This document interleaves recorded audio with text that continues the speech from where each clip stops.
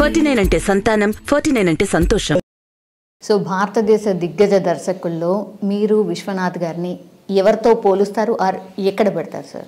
అది ఆయనే చెప్పారు కదా ఇప్పుడు ఆయన ఇంకోటి తీసుకొచ్చాడంటే ఈ ఆర్ద్రత ఆర్ద్రత. ప్రతి దాంట్లో ఆ ఆ పాటలోని అక్షరం అక్షరం వెనుక అపారమైన ఆర్ద్రత దాగి ఉంది దాసు అంటాడు. ఆర్ద్ర మీరు అన్నవన్నీ అర్థమయ్యాయి కానీ ఆర్ద్రత ఆ- ఆడు సరిగా పలకలేడు కూడా. తులసి వేసిన పిల్లోడు. ఆర్ద్ర అది ఆర్ద్రత.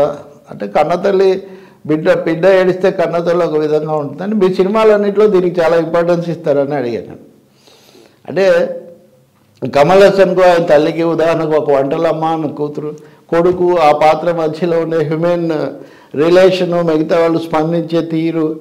అలాగే ఢిల్లీలో పోటీ జరుగుతుంది. ఇన్విటేషన్ అన్నప్పుడు కమల్ హాసన్ అతను ఆ ఇన్విటేషన్ తిరగేస్తూ వెళ్తే ఓ చోట తన పేరు కూడా ఉంటుంది బాలు.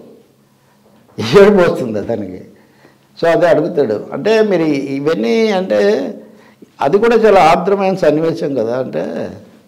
నిజమే జీవితంలో అడుగడుగున ఆర్ద్రత ఉంటుంది. ఆర్ద్రత లేకపోతే మీరు నన్ను ఎందుకు వచ్చి మాట్లాడతారు? ఈ విషయాలన్నీ ఎందుకు చర్చిస్తారు? ఒకరి మీద ఒకరికి ఉండే గౌరవం అదే ఆర్ద్రత. అంతేగాని ఆర్ద్రత అంటే ఒక బ్యూటీ స్పాట్ లాగా పెట్టాలని నేను ఎప్పుడు అనుకోలేదు. ఒక కాన్సెప్ట్ ఆయన ప్రతిదానికి కూడా ఒకటి ఉంది.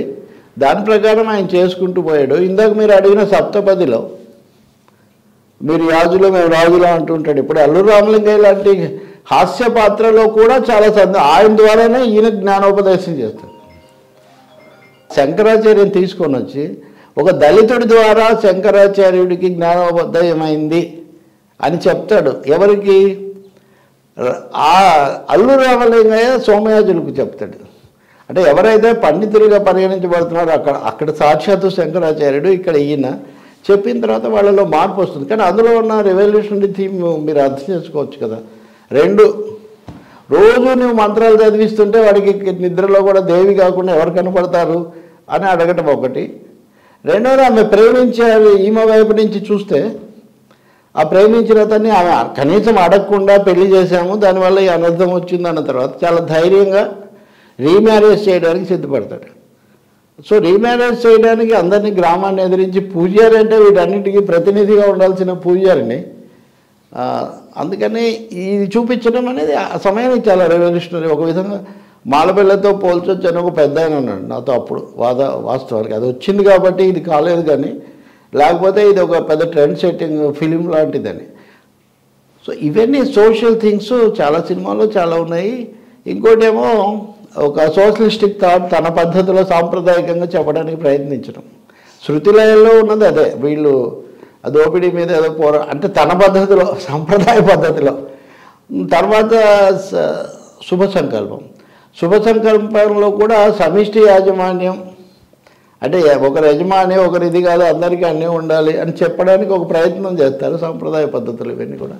సో ఈ విధంగా విశ్వనాథ్ సినిమాలను మనం తవ్వుకుంటూ పోతే చాలా విషయాలు తెలుస్తాయి. వాటిలో ప్రతిదాన్ని కొంచెం మదనం చేయాల్సిన అవసరం కూడా. కనీసం కథకులు దర్శకులు అది అది చాలా ఉంటుంది. భారతదేశంలో ఆయన రేటింగ్ ఆయన ఏ స్థాయిలో ఉంటారని మీరు అన్నారు. దాదాసాహెబ్ ఫాల్కే అవార్డు ఇవ్వడం అంటేనే భారతదేశంలో అత్యున్నత శిఖర ప్రయాణం ఉన్న వాళ్ళకి మటుకే అది ఇస్తారు. సో ఒక దర్శకుడుగా ఆయన ఆయన స్థాయి ఏది అంటే ఒక జాతీయ అంతర్జాతీయ స్థాయి అనేది చెప్పకనే మనకు దాదాసాహెబ్ ఫాల్కే అవార్డు చెప్తుంది. సార్ ఇంతకుముందు మీరు చెప్పినట్టుగా సోషల్ యాంగిల్ మూవీస్ చాలానే తీశారు. కానీ అందులో కొన్ని విమర్శలు కూడా ఉన్నాయి సార్. తప్పకుండా విమర్శలు ఉన్నాయి. విశ్వనాథ్ తన పరిమితులు ఎప్పుడు తను దాటి దాంట్లో ఆయన చాలా స్పష్టంగా ఆ విషయం చెప్పుకున్నారు. ఒకసారి ఎవరో ఇలాగే ప్రశ్న వేస్తే ఆ సంస్కృతి నాకు ఇష్టం అని కూడా ఆయన చెప్పారు. కానీ అదే సమయంలో అసమానతలు వివక్షలు ఇవి ఉండకూడదు అనే ఒక భావం మటుకు ఆయనకు ఉంది. తన సాంప్రదాయ కోణంలో దానికి పరిష్కారం ఆయన సూచి సూచిస్తారు. ఉదాహరణకు స్వయం కృషిలో నేను చిరంజీవికి చాలా ఇష్టమైన లేకపోతే ప్రేక్షకులకు కూడా ఇష్టమైన ఆ సినిమా అనుకోండి. ఆయన ఒక యాంగిల్లో ఒక మేరకు దానికి చెప్తారంటే ఇవన్నీ మనం పాటించకూడదు అని.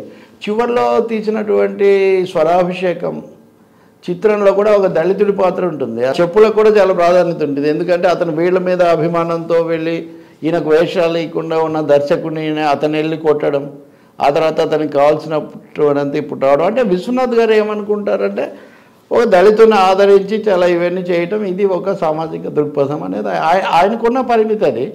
ఆ విషయాల్లో ఆయన నెగిటివ్ది కాదు. ఆయన దృక్పథం నెగిటివ్ కాదు. ఒక విధమైన రిఫార్మిస్టిక్ సంస్కరణవాద దృక్పథం అనుకోండి.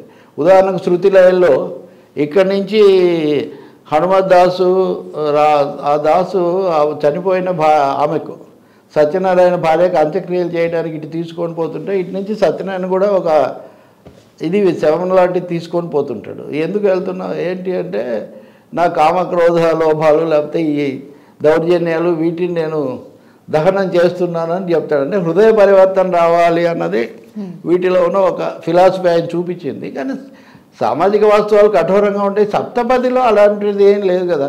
సప్తపదిలో చాలా స్పష్టంగా ఒక పూజారి ఇప్పుడు అనుగ్రహం సినిమాలో కూడా ఒక పూజారి శ్యామ్ బెనగల్ సినిమాలో అతను వీళ్ళతో తిరుగుతుంటాడు తిరుగుబాటు చేసిన వాళ్ళతో అప్పుడు రంగనాయకమ్మ గారు దాన్ని ఆక్షేపిస్తే జరగవచ్చు. ఇప్పుడు లాటిన్ అమెరికన్ కంట్రీస్లో లిబరేషన్ థియాలజీ. అంటే మతానికి సంబంధించిన వాళ్ళు కూడా సోషల్ రిఫార్మ్లో లేదా పోరాటంలో పాల్గొనడం అనేది జరుగుతుంటుంది. అందులో రిఫార్మ్ రిఫార్మిస్టిక్ పాలసీ వరకు ఆయన తీసుకున్నారు. రాను రాను మీరు దేశంలో వచ్చిన రాజకీయ మార్పులు పంతొమ్మిది వందల ఎనభైలో కొలబద్దగా తీసుకుంటే ఎనభైలోనే మాభూమి వచ్చింది. ఎనభైలోనే దాదాపు ఒక ఆరు నెలలు అటు ఇటు విశ్వనాథ్ గారి శంకరాభరణం కూడా వచ్చింది. దేశ రాజకీయాలు కూడా అప్పుడే మార్పు వచ్చింది. అదేమి అంత ఐసోలేటెడ్ ఫినామినా ఏం కాదు. ఇలాంటి విమర్శలు అవి చాలా ఉన్నాయి కానీ బట్ ఆయన ఎక్కువగా కళాత్మక దృష్టి ఒక మానవీయ దృష్టి మనుషుల పట్ల ప్రతిభను ప్రోత్సహించడం వాళ్ళ నేపథ్యంతో సంబంధం లేకుండా తీసుకున్నారు. ఆయనకు చాలా ఇష్టమైన నేను చివరి విషయం మటుకు చెప్తాను. ఆయనకు చాలా ఇష్టమైన సిరివెన్నెల సిరివెన్నెల చిత్రం సక్సెస్ కాలేదు ఉదాహరణకు. కా అంటే అయింది అంటారు. అయింది. అంటే మరీ మిగతా వాటి అంత కాలేదు. ఒక మేరకు అయింది. అసలు కాంది స్వాతి కిరణం. స్వాతి కిరణం అనేది బేసిక్ అసూయ మీద ఆధారపడింది. ఇప్పుడు అంత పెద్ద పండితుడిని ఒక చిన్న టీ కొట్టు నడిపే అతని కొడుకు ముందు అసూయపరుడుగా చిత్రించి అతని అతనికి శిక్షగా ఈ కుర్రాడు చనిపోవటం అది కూడా ఒక విధమైన దాంట్లో ఒక రెబెలియన్ లక్షణం ఉంది. అంటే వ్యవస్థలో పైన ఉన్న వాళ్ళు పైకి రాని సాధారణంగా బోద్ధారో రాస్తూ అంటారు బోద్ధలకు వారు మత్సర పూర్ణమతులు అని భర్తృహరి కూడా రాస్తాడు అంటే పండితులైన వాళ్ళలో కూడా మత్సరం ఉంటుందనే ఒక వాస్తవాన్ని అక్కడ చూపిస్తాడు. అదే దానికి అదొక రూపం అనుకోండి. అదే సిరివెన్నెల్లో కూడా మీరు ఒక అంధుడు క- చూపులేని కథానాయకుడు మాట రాని కథానాయిక అసలు ఈ కాంబినేషన్తో సినిమా తీయటం మనం ఊహించలేము అంతకుముందు సంజీవ్ కుమార్ హిందీలో తీసిన సినిమా ఏదో ఒకటి ఉంది. అందులో కూడా కొర కాగజ్ అనుకుంటా. అట్లా అది కూడా జయప్రదం అయింది. మంచి పేరు వచ్చింది దానికి. ఇందులో ఆ ఒక సన్నివేశంలో అంత ఇదిగా లేనట్టుంది అన్నాను నేను. అంటే పురుషులందు పుణ్య పురుషులు వేరే అని టేస్ట్ వేరే ఉండొచ్చులే అని. అంటే అతను ఆ అమ్మాయికి పెళ్ళి చేద్దాం అనటము అక్కడ కథానాయిక చనిపోయి ఉంటుంది. ఇతనికి బాధ కలిగించు. ఆ హీరోయిన్ చూడండి. మున్మున్ సేన్ పాత్రను మామూలు దర్శకుడు ఊహించలేడు కదా. చాలా ధైర్యంగా ఆ పాత్రను ఊహించి అత ఆమె ద్వారా ఇతనికి ప్రేరణ తీసుకొచ్చి చాలా గొప్ప ప- దీనిగా చేసి హరిప్రసాద్ అంత పెద్దవాడిని చేసి ఆ తర్వాత ఆమె విత్డ్రా అవుతుంది అనుకోండి అయినప్పుడు ఈ హీరో ఏం చేస్తాడు? నేను అన్నాను ఆ సన్నివేశంలో అటు ఇటు రెండు వైపులా ఇక్కడ అక్కడ జరుగుతుంటుంది ఇక్కడ సైమల్టేనియస్గా జరుగుతుంటుంది. కొంచెం చూడడానికి అని అంటే మీకు సరిగా కనిపించలేదని నేను ఇప్పుడు అన్నమాట అని ఆ సినిమాలో హైలైట్ అది కాదు తర్వాత ఘట్టం అది. వీళ్ళందరూ ఇంత బిల్డప్ ఇచ్చి ఇంత నాటకం చేసినా కానీ అతనికి తెలిసింది తన ప్రేయస్ చనిపోయిందని. అప్పుడు అని అంటాడు ఆయన ఆయన ఆయన ఎక్స్ప్లెయిన్ చేసింది. అందుకని వాళ్ళ కాన్సెప్ట్స్ వాళ్ళు చూసిన ధోరణి ఒక విధంగా ఉంటుంది. దాన్ని కూడా కొంచెం అర్థం చేసుకోవడం ఒకటి. సరే ఎవరి అభిప్రాయాలు ఎవరి సినిమా అంటే అది ఉంటుంది కానీ. బట్ ఆయన మటుకు ఈ was always trying for the noble finishing తర్వాత humanistic expression and artistic presentation best of performance. దీని మీద ఆయన కేంద్రీకరించినట్టుగా కనబడుతుంది. అందుకనే ఆయనది ఒక ఎర. ఈ సినిమాలో హిందీ సినిమాలు కూడా చాలా ఉన్నాయి. యాభై అని మనం అన్నప్పుడు అన్ని రకాల జీవన శైలులను కూడా వీటిలో తరచి చూడటము ఇందాక మిత్రులు అన్నట్టుగా కొత్త వాళ్ళను కొత్త ముఖాలను తీసుకొని వచ్చి చాలా చాలా ప్రసిద్ధమైన వాళ్ళుగా మార్చటము కమల్ హాసన్ కూడా అది వరకు కమల్ హాసన్ చేసిన సినిమాలని యూత్ఫుల్ ఫిలిమ్స్. ఈయనే సాగర్ సంగమము తర్వాత స్వాతి ముత్యం వీటి ద్వారా ఆయనకు ఆ ఘర్షణాత్మకమైన పాత్రలు అవన్నీ కూడా తీసుకొచ్చారు. విశ్వనాథ్ గురించి ఇంకా ఎంతసేపు అయినా మనం చెప్పుకోవచ్చు చెప్పుకుంటూనే ఉంటాం కూడా. రాబోయే రోజులన్నింటిలో కూడా. ఆయనలో ఈ కళాత్మక కోణంతో పాటు ఒక కమనీయమైన సౌందర్య దృష్టి కరుణ రసాత్మకమైన మానవీయ దృష్టి కూడా ఉన్నాయని చెప్పి మటుకు మనం గుర్తించాల్సి ఉంటుంది. ఆ మహాదర్శకుడికి నివాళి. Thank you sir